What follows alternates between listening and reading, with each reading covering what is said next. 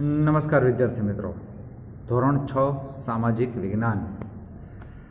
છેલ્લે આપણે સમજૂતી મેળવી. ચેપ્ટર નંબર બાર, નકશો સમજીએ. ચાલો, હવે આજે લીથો બહાર કાઢો. પેજ નંબર સુડતાલીસ, એટલે કે ફોર્ટી સેવન બરાબર છે? સૌપ્રથમ એની અંદર વિકલ્પ છે એ આપણે જોવાના છે. બરાબર છે? ચાલો. કોની મદદથી પહેલો વિકલ્પ, કોની મદદથી વિશ્વના કોઈ પણ સ્થળે સ્વયં પહોંચી શકાય છે? આપણે કોઈની મદદ ન જોતી હોય માત્ર એક જ વસ્તુ, તો શું? તો કે જીપીએસ મોબાઈલની અંદર આવે. એટલે ઓટોમેટિક તમે, તમને રસ્તો બતાવે, તમે ત્યાં પહોંચી પહોંચી જઈ શકો છો. બરોબર છે? ચાલો, બીજું. નકશા શબ્દનો પર્યાય શું છે? તો કે એને શું છે? નકશા શબ્દનો અંગ્રેજી પર્યાય, તો કે મેપ. એમ એ પી એટલે એ નીચે અંડરલાઇન કરો, પેલાની અંદર સી સી નીચે અંડરલાઇન કરો, પછી ત્રીજું. પૃથ્વીના કોઈ પણ ભાગના સપાટ કાગળ પરના આલેખનને શું કહે છે? તો કે એને નકશો કહેવાય. બરાબર? એટલે બી નીચે અંડરલાઇન પછી ચોથું, જો બાજુમાં નિશાની આવી કે તીર વચ્ચે એક કાપો અને ઉપર ઉ લખેલું હોય, તો એ તીરનું નિશાન કઈ દિશાનો સંકેત કરે છે? તો કે ઉત્તર દિશા, કારણ કે ઉપર ઉ લખેલું છે ને, જો ઉ ન લખ્યું હોય તો પણ ઉત્તર દિશાનો જ નિર્દેશ કરે છો ધ્યાન રાખજો. ચાલો, એટલે એ નીચે અંડરલાઇન કરો. પછી પાંચમું. ઉગતા સૂર્યની સામે ઊભા રહીએ તો પીઠ કઈ દિશા તરફ હોય? આપણે ઉગતો સૂર્ય હોય, અત્યારે બરોબર જો સૂર્યોદય થયો છે, સવાર પડી છે, બરોબર? સમય થઈ ગયો છે આઠ ને વીસ થઈ ગઈ છે અત્યારે. હવે આ સવારની વાત કરું છું, પછી તમે સાંજે વીડિયો જોવો તો એમ કહો કે સાહેબ તમારે ક્યાં સાંજે અમે તો રાત પેઢી છે. એટલે તમે સવારે જ્યારે વીડિયો જોતા હો અને અત્યારે હું વીડિયો બનાવી રહ્યો છું, ત્યારે આઠ ને વીસ થઈ છે. તો હવે હું સૂર્ય સામું મોઢું રાખું ને, તો સૂર્ય જે બાજુથી ઉગે છે એને પૂર્વ દિશા કહેવાય. તો મારી પીઠ પાછળ કઈ દિશા આવે? તો કે પશ્ચિમ દિશા આવે. બરોબર? એટલે ડી નીચે અંડરલાઇન કરો. પછી છઠ્ઠું, ઉત્તર પૂર્વ દિશાને કઈ દિશા કહે છે? એટલે કે જો પૂર્વ દિશા સૂર્ય ઉગે છે એ અને એ બાજુ મોઢું રાખો એટલે ડાબી બાજુ કઈ આવે? ઉત્તર દિશા આવે.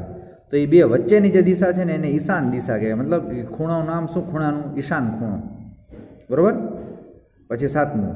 દક્ષિણ પશ્ચિમ દિશાને શું કહેવાય? દક્ષિણ પશ્ચિમ એટલે સૂર્ય સામે મોઢું રાખો એટલે જમણી બાજુ. પશ્ચિમ એટલે જે બાજુ સૂર્ય આથમે છે એ તો કે એ બાજુનો ખૂણો. તો એને શું કહેવાય? નૈઋત્ય કહેવાય. બરાબર? ઈશાન નૈઋત્ય, એટલે સી નીચે અંડરલાઈન પછી ઉત્તર પશ્ચિમને. બરોબર? ઉત્તર પશ્ચિમ, એટલે કયું આવે? તો કે વાયવ્ય. બરાબર? ઉત્તર દિશા અને પશ્ચિમ દિશા, તો કે વાયવ્ય કહેવાય. બરાબર છે? સમજાણું કે ન સમજાણું? બરોબર છે. ચાલો. હવે આગળ વધીએ.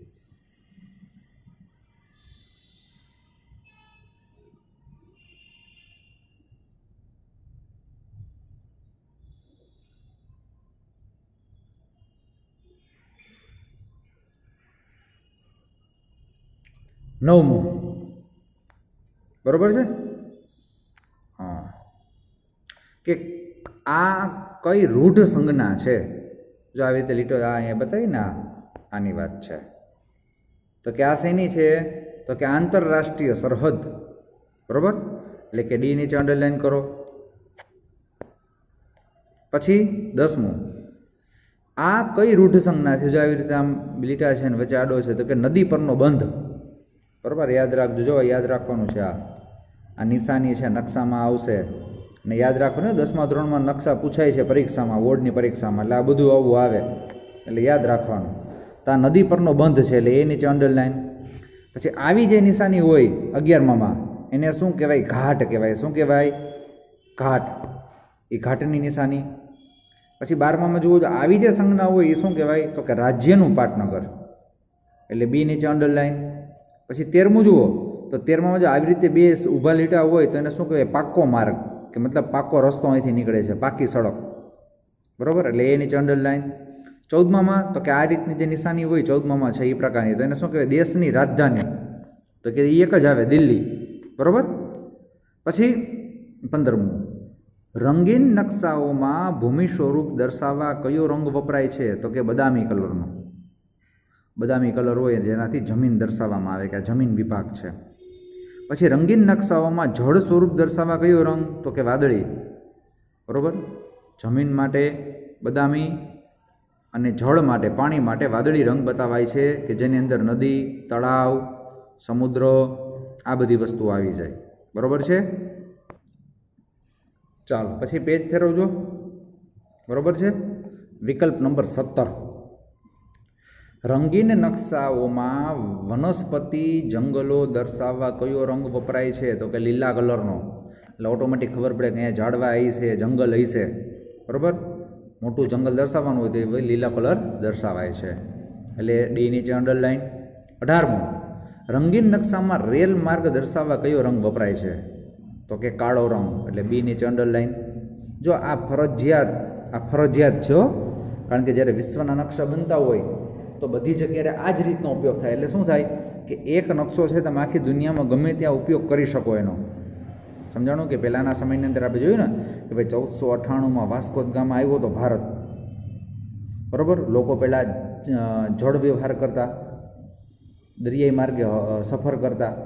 તો એ આવી રીતે કરતા. કે કદાચ જીપીએસ તો હતું નહીં.